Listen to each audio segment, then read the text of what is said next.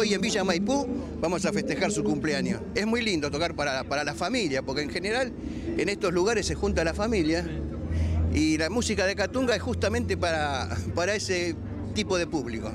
Vamos a hacer lo que la gente quiere, que es justamente recorrer un poco nuestra, nuestra historia. Estamos cumpliendo 45 años con, con la música. Y vamos a hacer un pequeño, por supuesto, resumen de nuestra historia, con, con los temas que hicimos en películas, con aquellos temas que cantan las hinchadas de fútbol. Bueno, un poquitito recorrer nuestra historia eh, en esta horita que vamos a estar ahí arriba. Conozco de cuando era chica, pasaron muchos años y no pensé que los iba a venir a ver acá a Villa Maipú. Para toda la familia, so- que es cerca y hay de todo para ver.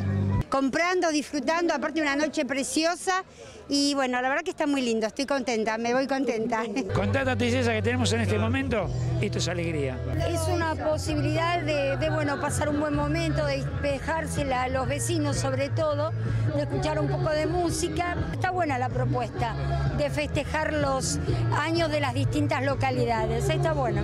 Para nosotros eh, trabajar es una alegría, es para nosotros arriba del escenario nos divertimos. Antes de despedirme quería desearles a todos los habitantes de Villa Maipú un muy feliz cumpleaños de, de estar viviendo en esta localidad y que sea lo mejor, lo mejor para, para ustedes y para Villa Maipú en este año 2017.